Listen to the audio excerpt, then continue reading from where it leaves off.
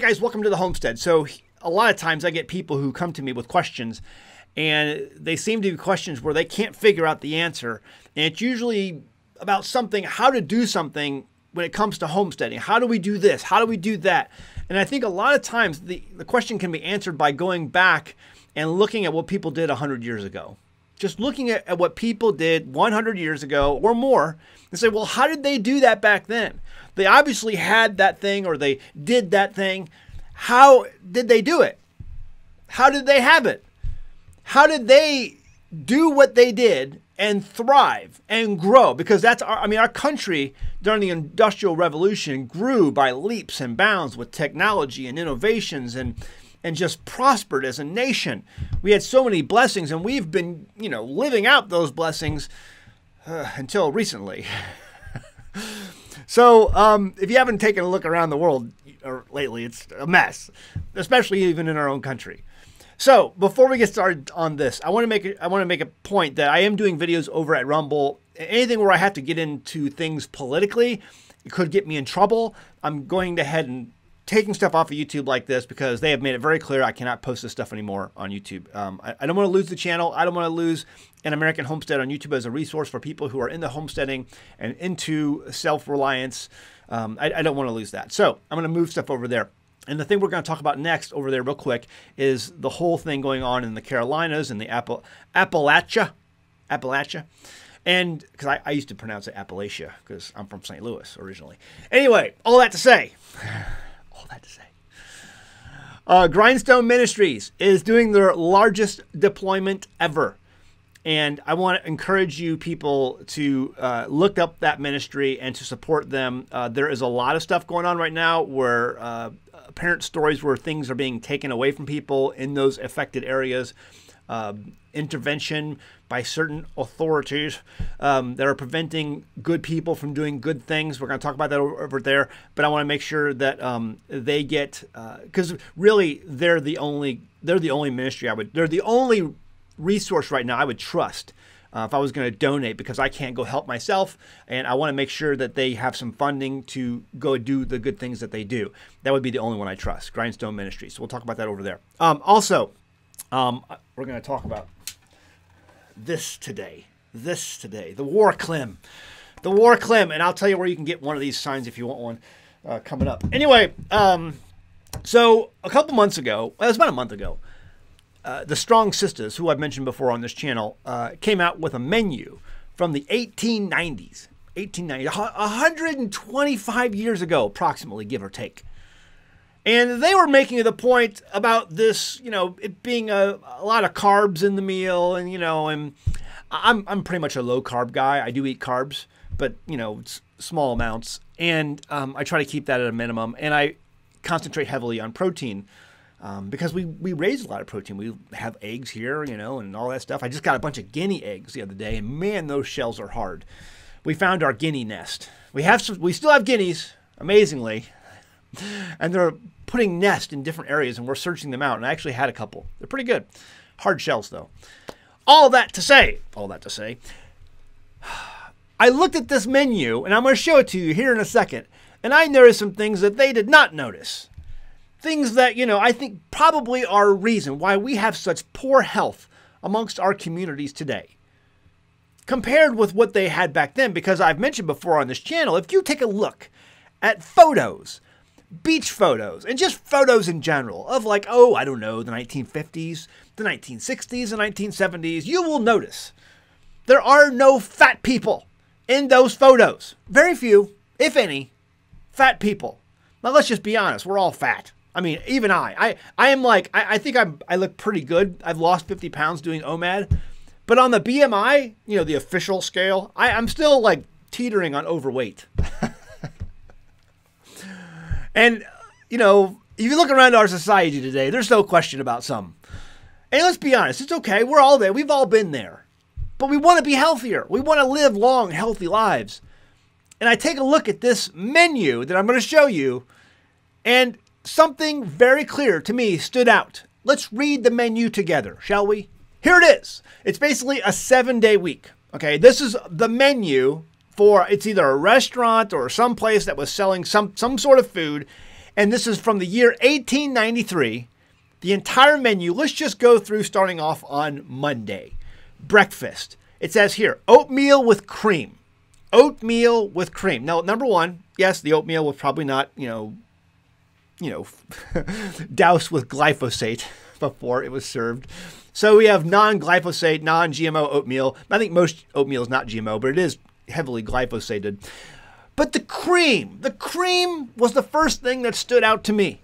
Because if you don't know, going back to our war Warklim picture, see, this was war Warklim cream. War Warklim cream. What is Warklim? Warklim, if you spell it backwards, spells a certain two words that I am not allowed to say on YouTube. For some reason, other channels can say it, but when I say it, I get strikes.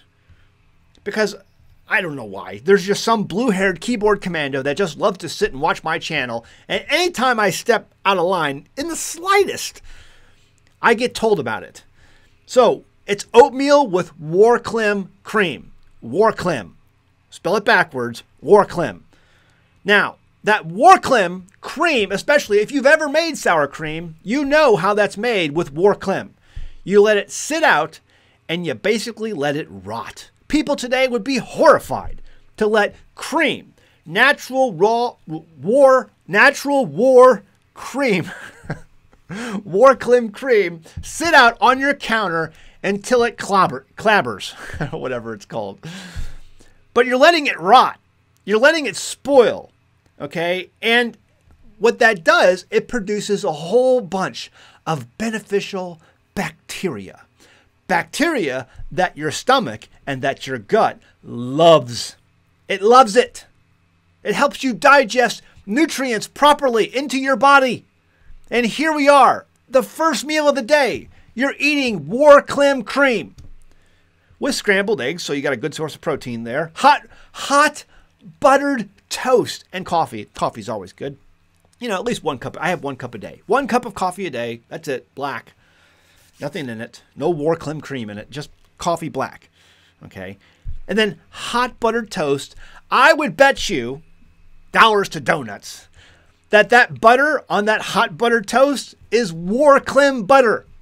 It's not been pasteurized. It's not been homogenized or, you know, some other.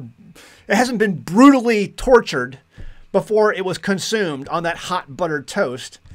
It's war Warklim. It contains beneficial bacteria that you ingested that your gut and that your stomach loved. It helps you process food better. It helps you sleep better at night. That's what good probiotics does for you. Let's take a look at dinner. You had a soup, okay? Beef olives. I have no idea what beef olives are. I'll maybe Google that later. If you know what beef olives are, please leave a comment below. Potatoes stewed tomatoes, bread. Oh, and look, there's more butter again. Bread, bread. You know, and I didn't mention this with the toast upon breakfast, but how much do you want to bet in 1893 that that bread was also fermented? It was fermented bread, ladies and gentlemen. It was sourdough because that's the only way you made bread. Most people made bread back then. You didn't have instant yeast at the grocery store back then. You didn't have it in 1893. You made bread like everyone else made bread with sourdough, and that went with also with that toast up there at breakfast. You had a fermented bread, a, a, a something that your body, your stomach could use those probiotics that you're ingesting from other sources to easily digest. How many people in my audience leave a comment below? How many people in my audience are gluten insensitive, are gluten sensitive? You can't eat gluten. Why? because most of the bread out there has been adulterated. And yes, there are other things, glyphosate and all that other stuff. I get it. But your body is crying out for probiotics and crying out for bread that it can digest. The Bible says that bread makes, you know, is good for man's heart. You know, look it up. Bread is good for man's heart. So, why can't we eat the bread today? Well, because it's not sourdough, has, the, the grains haven't been fermented, and we have no probiotics in our diet. Now, next, next one on the dinner list, which it, for most of you who are not in the South, dinner means lunch. Lunch, okay? Dinner means lunch. Berry pudding. It says berry pudding. Now, I, I don't know if this was like the English version of pudding because it could have been, or it was actually our version of pudding, what we pudding we know as pudding today, like the creamy pudding, you know. But either way, if it was the pudding that we know and love today that we like to eat, you know, as a dessert, well, then that would have been something like uh, that would have been probiotics also from Warklim. Warklim, again, more war because it takes Warklim to make pudding today. But if it was like the English version of pudding, which is more like a cake, because England, I mean, they're still using those poor poor guys. They're using the metric system. they don't know how to make pudding either. But yeah, okay, so they're eating bread, but that still would have been fermented sourdough bread to make that pudding. All right, now we move to supper. Cheese fritters. How much do you want to bet that that cheese was made from Warklim? Warklim. Fritters. Oh, look, more bread and butter. A fermented bread, fermented bread, good for probiotic, good for digestion, and then butter with probiotics. War Warklim butter. Baked apples. Oh, and then there's cream cake. How many of the ingredients that went into those that cream cake were fermented? I would say most of the ingredients into that cream cake were fermented. And you look at this, it gives you the recipe down here of the cream cake. The cream cake is made with one cup of Warklim. Full, full, ladies and gentlemen, of probiotics. Full. Absolutely full. And I guess the one cup of sugar also included there because people were like, oh my gosh, a whole cup of sugar. I bet you that sugar wasn't refined sugar like we have today. I bet it was raw sugar coming from plants, unadulterated, without all kinds of chemicals in it, and chemicals used to make it pure. Um, two scant teacupfuls of flour. I don't know what a teacupful is compared to a regular cup, but you know, people back then obviously knew. Leave a comment below if you know what that is. But flour, flour probably not, in, you know, without glyphosate uh, two teaspoons of baking powder, two ta- two tablespoons, or no, one tablespoon of Warklim butter, one egg, probably a farm raised egg that was a free range, came from a free range chicken. It says bake in jelly tins in a hot oven, filling a teacup of a teacup of sweet Warklim cream. See, do you see all the probiotics in this menu? Just, this is just Monday for crying out loud. Go back through the rest of this recipe. I'm not going to go, we'd be here all day. And look at all of the probiotics that you were eating throughout the week. Ladies and gentlemen, your diet is screwed up. It's screwed up. Your poor diet. No wonder we're all fat. it's ridiculous. We're not, we have no probiotics in our life. When you go back and you think about all of the things that they ate back then. Things were fermented, things were aged. I have, we're getting ready to, winter, fall is coming. I'm getting ready to, um, uh, I'm going to, I have some lambs, some rams that I'm going to butcher, and I'm going to be hanging those legs of lamb up in a smoker, and I'm going to be hanging it in my pantry. No refrigeration, no nothing. They'll be, they'll be salted and they'll be cured, and they'll be hanging until I decide to eat those. You know, and that there's there's probiotics. Don't don't kid yourself. There's probiotics. There's bacteria involved in that. And those are gut healthy probiotics. Things that your digestive system needs. And it really needs it for all kinds of things to to help help you have a good body to grow and to sleep even see how, see how much probiotics affects your sleep and everyone today tells you they're not getting good sleep you you'll burn most of your fat throughout the day in your sleep. Do you know that? People are like, I gotta do cardio up and down the, the hills and around the roads. No, no, you'll burn a lot of fat if you sleep, but no one sleeps today. Number one, they got these stupid cell phones by their head and wakes them up every day at 3 a.m. because there's some crazy signal that goes out to wake you up. They don't want you to sleep. They want you to be sick and dumb. And so, you know, put I, I sleep with this across my room. I sleep with it across the room. We're, we're, a, we're a mess, ladies and gentlemen. Warklim. Warklim. If you're interested in this, you can get this over at JS Genesis Designs. I'll put a link up on the screen. You can get, get that. JSGenesisDesigns.com. They're selling these signs. And yes, we made, uh, at some point, I'm, I'm going to do a t shirt, the Warklim t shirt. If you want to join the Warklim clan, the Warklim clan we're gonna, we're gonna sell T-shirts. I'm gonna get that done. It's it's on my list of things to do, and sometimes the, the list of my things to do is quite long. All right, what do you think? Leave a comment below. I'd love to hear your thoughts. Um, this is one of the reasons why, guys, I push Perfect Pickler. This is one of the reasons why I decided to buy a company, even though I could I could forecast, you know, the financial future of this country and the financial future of business. I understand there's there's like trying to get parts for this thing has been I understand you know speaking of grindstone I understand Bear's frustration of trying to find good uh, inventory uh, because holy cow we have no manufacturing in this country. But the reason I took this on at this stage of our country's demise let me just say that is because I know how how good probiotics are going to be for good health especially in the times that we're going to be facing. And I think I can find a market for it probiotics are very, very important. We always have probiotics. I have, uh, I have Warklim kefir out there, Warklim kefir, okay, and then I also have probiotics made with pickles and some other things out there, okay. I, I keep I keep probiotics on hand, and we eat these on a regular basis because I know how important that is for gut health. Perfectpickler.com. Perfectpickler.com. If you want to get, get started on that, growing your own probiotics at home. All right, stop by over at Rumble, and um, we'll go ahead and um, uh, get that video. I got some other videos coming out soon, so stay tuned for that. Uh, last chance, I will be over at uh, the Self Reliance Festival in Camden, Tennessee, in just a few days. I'm only going to be there for one day, one day only, folks, on Sunday. And all of the proceeds that we make there from selling Perfect Pickler and our t-shirts, we have our uh, Stupid Should Hurt shirt and our Farm Fresh butt nuggets, all the sales that we get from this are going to Grindstone Ministries 100%. If you uh, go over and check my video out that I'm going to put out on Rumble, um, kind of giving you an overlay of what I think is happening over there just based on what I'm seeing on Twitter. Listen, Twitter's the place to get news today, folks.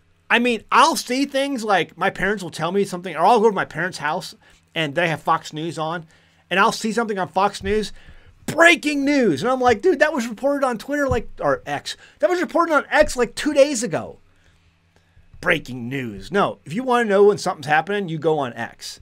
And Pete, you're, you're getting live reports, real time reports from people on the ground uh, there in those in those affected places, and it, the stories are absolutely horrific.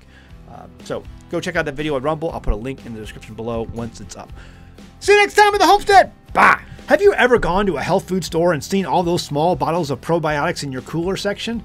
Man, can they be pricey. Are you really getting all you need to improve your gut health from those expensive bottles? How viable are they? Most of those products claim to give you between 8 and 15 strains of gut healthy healing bacteria. Think of each strain of bacteria as a different factory in your gut. Each factory is responsible for breaking down that food in its own way. The more factories you have, the more the food is broken down and the easier the food is absorbed and digested by the body. A 2018 study published by the National Library of Medicine shows that one fermented head of cabbage can produce up to 114 strains of beneficial bacteria. That's a lot more food factories than you're getting from that expensive pill bottle. And that's just cabbage. Imagine the probiotics when you add garlic, onions, pepper, and more to that ferment. PerfectPickler.com and its home fermentation kits provide you with everything you need to get started making your own gut healthy food factories from the comfort of your own kitchen. PerfectPickler.com even provides a jam packed recipe book with many of our kits. Visit PerfectPickler.com and start fermenting your own veggies to begin your journey to better gut health. That's PerfectPickler.com.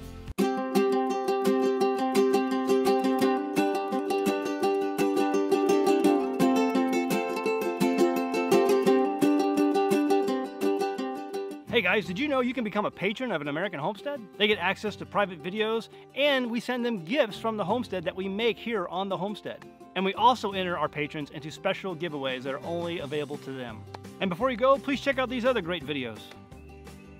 Go ahead, click. Oh wait,